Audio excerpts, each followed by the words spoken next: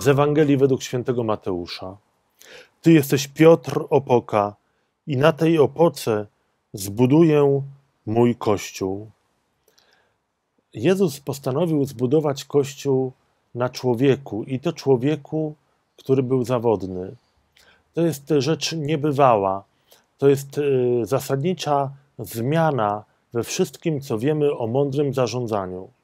Jezus wie, że siła rodzi się z przekonania o własnej słabości, że siła rodzi się z pokory, że ten, kto nigdy nie upadł, kto się nigdy nie potknął, jest najsłabszy, bo kiedy Y, już w końcu się to zdarzy, to wyrżnie na całego, że y, tylko ci, którzy upadli nieraz, umieją upadać i umieją powstawać. Do zobaczenia jutro.